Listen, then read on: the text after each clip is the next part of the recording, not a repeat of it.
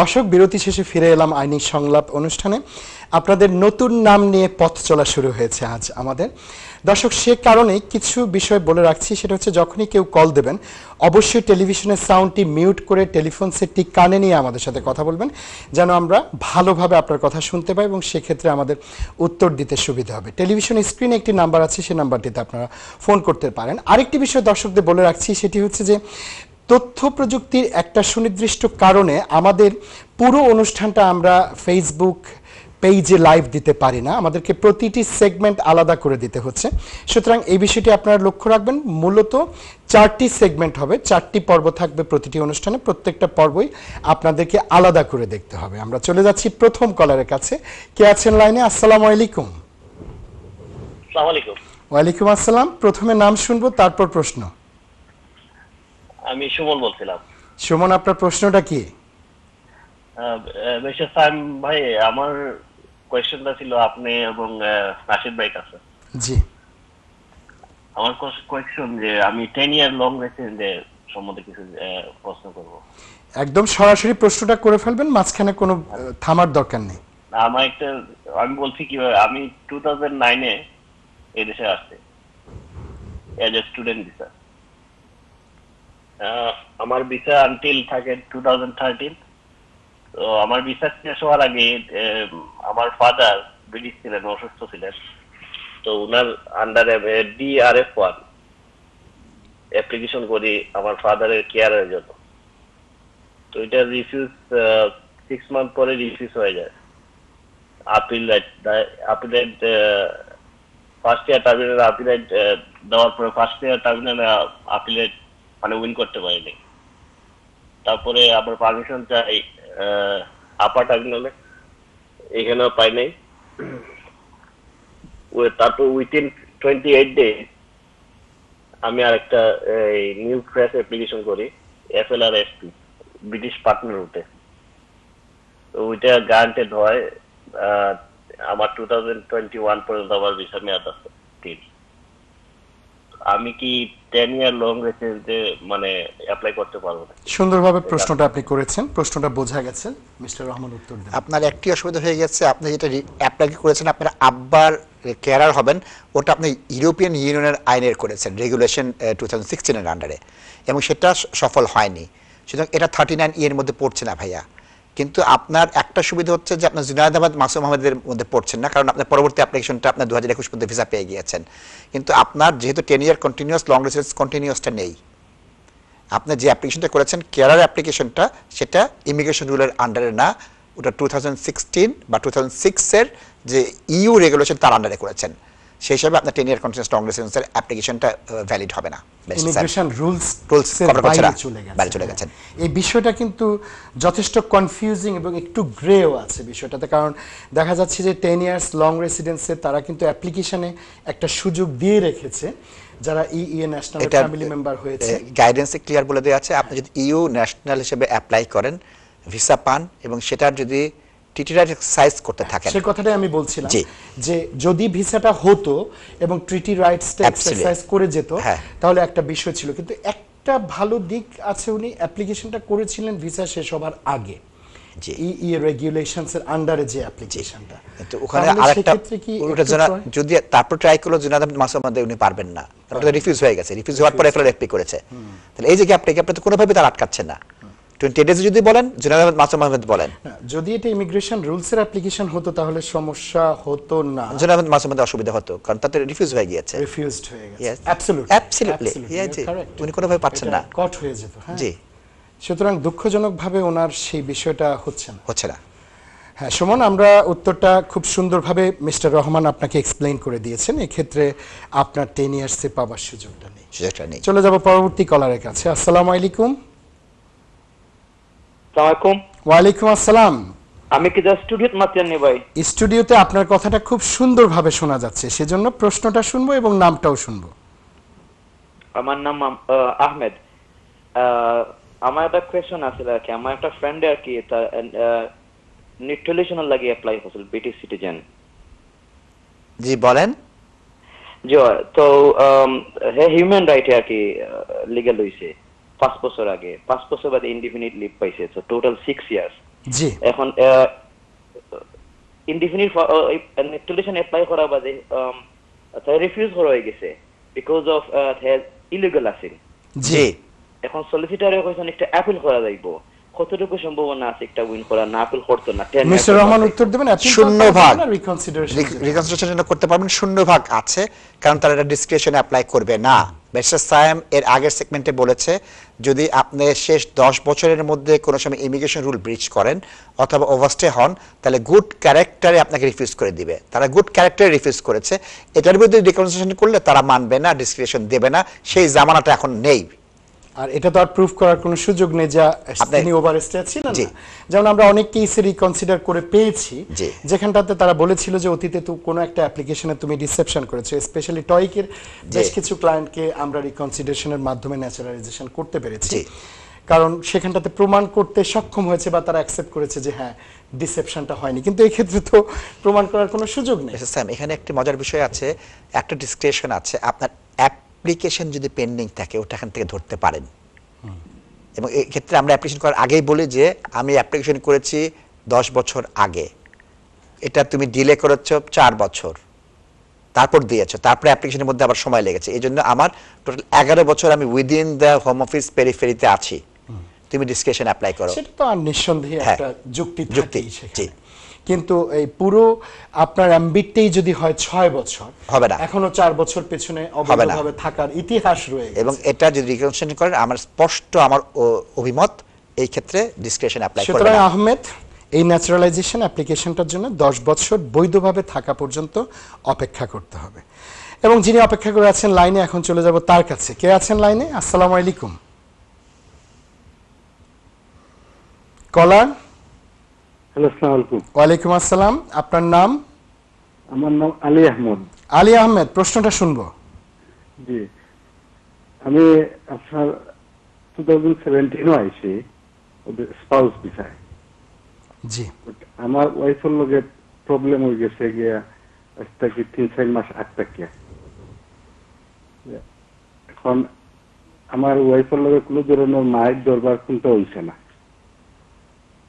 এখন আমার ওয়াইফে আমার সেপারেট হয়ে গেছেন আমার আমার গতে বার করে দিলাইছেন টাইম টাইম সেপারেট আমি আমার সেপারেট এখন গত গত মাসে আপনার টাইম আমার আমারে কোর্টও গিয়া নন রেজিস্ট্রেশন অর্ডার করাইছেন।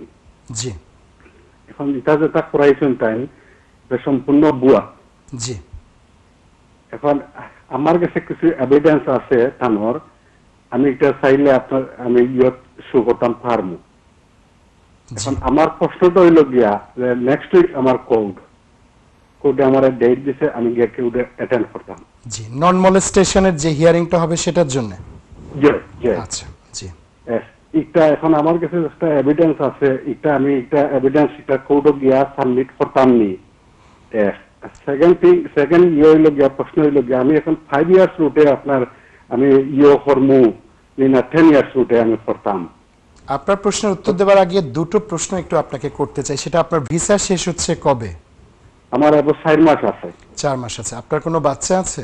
জি জি আমার বাচ্চা আছে। কজন বাচ্চা? এক বাচ্চা। সে বাচ্চাটা ব্রিটিশ? জয় ব্রিটিশ। জি জনাব রহমানের কাছে চলে আপনার বাচ্চার আমি আমি- স্যার আমি একটা মিনিট আমি একটা মিনিট আর কইতাম চাইলাম যে আমি জনাব আহ, রহমান স্যারের কাছে আমি ফার্স্ট টু আইসলাম জি। তাই আমার এটা আমারে কইয়া দিছেন আমারে কইয়া দিছেন তোমার ইলা যদি প্রবলেম হয় তো তুমি বারোই আইও ওটা আমি বারোই রাখছি। জি। আহমেদ সাহেব আপনার বাচ্চার। বার্থ সার্টিফিকেটে কি আপনার নাম লেখা আছে? জয় জয় আছে জয়। জি। আপনার ফার্স্ট দায়িত্ব হচ্ছে এখন ওই বার্থ সার্টিফিকেটটা রাখা কিন্তু তারপর জিনিস সোমবার ফ্যামিলি ল বুঝেন। এমন একজন সলিসিটার কাছে যাবেন। আপনার কাছে যে রেকর্ডগুলো আছে যে তথ্যগুলো আছে আইনের ভিত্তিতে ফ্যামিলি কোর্টের সেটা গুরুত্ব দিবে আদৌ নেবে কিনা সেটা তো আপনি আমি না দেখে বলতে পারব না। আপনার কাছে অত্যন্ত গুরুত্বপূর্ণ মনে হচ্ছে কিন্তু ফ্যামিলি কোর্টে সেটা কোনো দাম না হতে পারে আপনার বিপক্ষ চলে যেতে পারে। আপনি আমার কথা বুঝতে পেরেছেন? আর এই দেশে একটা অসুবিধা কি জানেন আহমেদ সাহেব? এই দেশের ফ্যামিলি কোর্টটা আমাদের বাংলাদেশের ফ্যামিলি কোর্ট না। কনসেপশনে অনেক ভুল হয়ে যায়। এবং এটা সিপিআর বলা হয়। ওই সিপিআর না মানলে সিভিল প্রসিজিয়ার কোর্ট না মানলে ফ্যামিলি কোর্ট কোনো কিছু নেয় না। সুতরাং আপনার বান্ডেল দিতে হবে অপর পক্ষকে দিতে হবে তা এটা দেখে তার জবাব দেওয়ার সুযোগ দিতে হবে। আপনি কোর্টে নিয়ে যে আমি অ্যাম্বুশ করে দিলাম বাংলাদেশের মতোটা চলবে না দেশে। সুতরাং আপনার ফার্স্ট দায়িত্ব হচ্ছে সোমবার একজন ফ্যামিলি ল বুঝেন এমন আইনজীবীর কাছে যাবেন যিনি আপনার তথ্য দেখবে এবং তিনি আপনাকে যথার্থ আইনি পরামর্শ দেবেন এই এভিডেন্সটা কোর্টে অ্যাডমিসিবল কিনা এবং সেটা বান্ডেল পাঠানোর সময়টা আপনার শেষ হয়ে গেছে কিনা। আমি একটু সহযোগিতা করতে. চাই ওনাকে। জি আপনি কি শুনতে পাচ্ছেন আমাকে? কলার আপনি কি আমাকে শুনতে পাচ্ছেন? ওনার টেলিভিশন সাউন্ডটা বড় করে দেওয়া যে আপনার টেলিভিশন সাউন্ডটি মিউট করে দিয়ে আমাদের সাথে সরাসরি টেলিফোনে একটু শুনুন কারণ আপনি একটি গুরুত্বপূর্ণ বিষয় নিয়ে কথা বলছেন। জি জি। জি আপনি দয়া করে টেলিভিশনের সাউন্ড মিউট করে টেলিফোনটা কানে নিন। জি জি। জি যেটা হচ্ছে আপনি শুনতে পাচ্ছি স্যার। আপনার এই যে সোমবার আসছে সেটা কি আপনার প্রথম হিয়ারিং নন মলেস্টেশন অর্ডারের বিষয়ে? জি জি জি প্রথম জি প্রথম হিয়ারিং হলে আজকে তো শুক্রবার চলে যাচ্ছে শনি রবি হয়তো আপনি কোনো লয়ার পাবেন না। সেক্ষেত্রে যদি আপনি সোমবার কোর্টে যান তাহলে প্রথম দিনের হিয়ারিংয়ে বিস্তারিত হিয়ারিং তেমন কিছু নাও হতে পারে। হবে না। এটাই এটাই মোটামুটিভাবে স্বাভাবিক যে হবে না আপনাকে সময় দেবে। যে বিষয়টা আপনাকে মাথায় রাখতে হবে নন মলেস্টেশন অর্ডার আপনার ওয়াইফ যদি সিক করে থাকেন এবং আপনি যদি মনে করেন যে তিনি মিথ্যা অভিযোগ দিয়েছেন নন মলেস্টেশন অর্ডারে উনি যেই উনি তো একটা রেমেডি প্রথমে পেয়েছেন। ওনাকে নন মলেস্টেশন অর্ডারটা দেওয়া হয়েছে। ইন অ্যাবসেন্স তো একটা ডিসিশন হয়েছে নাকি? জি। আপনার অ্যাবসেন্সে একটা ডিসিশন তো দিয়ে দেওয়া হয়েছে non molestation order non molestation order জি। তো তাহলে আপনি সেখানে ওনার কি স্টেটমেন্টটা উইটনেস স্টেটমেন্টটা পড়েছেন? জি পড়েছি। জি সেখানে যে তথ্যগুলো সেগুলো কি আপনি মনে করেন যে মিথ্যে? যে সম্পূর্ণ মিথ্যে। যদি মিথ্যে হয়, আমি বলব আপনি এটা কোর্টে চ্যালেঞ্জ করবেন। আপনার ভয় পাবার কিছুই নেই। আপনি অবশ্যই অত্যন্ত বলিষ্ঠভাবে আপনি সেটা চ্যালেঞ্জ করবেন। আপনি কোর্টে যাবেন, প্রথম দিন যাবার পর জাজকে বলবেন, পরবর্তী হিয়ারিং এর ডেটটা জাজ দেবে, সময়টা বলে দেবে এবং কিছু ডাইরেকশনস দিয়ে দেবে কি করতে হবে। ঠিক আছে? আপনি এই সোমবার যাবার পর আপনি কোনো একজন লয়ারের সাথে দেখা করেন, আপনি প্রয়োজনীয় উপদেশটা নেন আর এক্ষেত্রে একটা কথা বলে রাখি, এসব ক্ষেত্রে লিগল এইড পাওয়ারও একটা সুযোগ আছে। অনেক লিগল এইড ফার্ম আছে যারা নন মলেস্টেশনের বিষয়ে আপনাকে কিন্তু বিনে পয়সায় সহযোগিতা করবে। কতটুকু সার্ভিস দেবে সেটা অন্য বিষয়, কিন্তু তারা আপনাকে সহযোগিতা করবে। তবে আমার সুনির্দিষ্ট পরামর্শ হচ্ছে, যদি ওই কথাগুলো মিথ্যে হয়ে থাকে, তাহলে পরে আপনি সেটা চ্যালেঞ্জ করতে পারবেন। এমনকি আপনি ক্রস এগ্রিমেন্টেও যাওয়ার কোনো প্রয়োজন হবে না যে দুপক্ষই আপনার সাইন করল, কোনো একটা এগ্রিমেন্ট সাইন করে দুপক্ষই নন মলেস্টেশন অর্ডারের কিছু কন্ডিশন তৈরি করল সেটাও আপনার করা লাগবে না। আপনি কিন্তু ফাইট করতে পারবেন। এবং আপনার যদি, আপনার অবস্থান যদি সত্যি হয়, সেক্ষেত্রে ফাইট না করবার কোনো কারণ নেই। তারপরও আমরা যেটি বলব যে, আপনি অবশ্যই একজন অভিজ্ঞ এবং দক্ষ আইনজীবীর সাথে দেখা করুন। আর আপনার ইমিগ্রেশন অ্যাপ্লিকেশনের ক্ষেত্রে মিস্টার রহমান যেটি বলেছেন, খুব গুরুত্বপূর্ণ কথা বলেছেন যে, আপনাকে কিন্তু অবশ্যই বার্থ সার্টিফিকেটটা সাথে রাখতে হবে কিংবা রেজিস্ট্রি অফিস থেকে বার্থ সার্টিফিকেটটা তুলতে হবে। আমি নিজে দেখেছি বার্থ সার্টিফিকেট না থাকবার কারণে আমার একজন ক্লায়েন্টকে অনেক দিন সাফার করতে হয়েছে। তিনি তার বাচ্চার ওনাকে যেটা বলব আহমেদ সাহেবকে তিনি দুইভাবে ফাইভ ইয়ার প্যারেন্ট রুট আছে জি। টেন ইয়ার প্যারেন্ট রুট আছে। ওনার ফার্স্টে দেখা উচিত ফাইভ ইয়ার প্যারেন্ট রুটে কোয়ালিফাই করে কিনা। আর সেকেন্ড যেটা হচ্ছে এই কন্ট্রাক্ট ওয়ার্ডার কন্ট্যাক্ট অর্ডার আমি হ্যাঁ এটা একটু বলে দিন কারণ এটাই আমি বলতে চাইতাম হ্যাঁ। আমাদের অনেক আইনজীবী যে ভুলটা করে কন্ট্রাক্ট অর্ডার যদি নাও থাকে কন্ট্রাক্ট অর্ডার যদি পেন্ডিং থাকে দুটো কেস লো আছে ওটা দিয়ে আপনি অ্যাপ্লাই করতে পারেন। হোম অফিস বাধ্য আপনার কন্ট্রাক্ট অর্ডারের লাস্ট ডেট আসা পর্যন্ত অপেক্ষা করার জন্য অথবা সে গ্রান্ট করে দিতে পারে। গ্রান্ট করতে হবে কিংবা অপেক্ষা করতে হবে। option ব্যতিরেকে কোনো অপশন নেই। হ্যাঁ। আর দ্বিতীয় হচ্ছে আমারই একজন ক্লায়েন্টের আড়াই বছর ধরে মামলা চলছে দশ থেকে পনেরো বার অ্যাডজমেন্ট হয়ে গিয়েছে ওই একটি আইনের জন্য।